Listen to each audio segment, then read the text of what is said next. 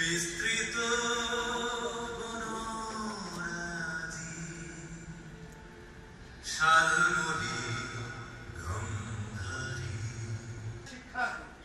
আমি এখনও নিশাদ রাজ হিরণ্য ধনুর এক রাজ্য পাড়ি দিয়ে দীর্ঘ পদযাত্রা শেষে হস্তিনাপুরে আপনার সঙ্গে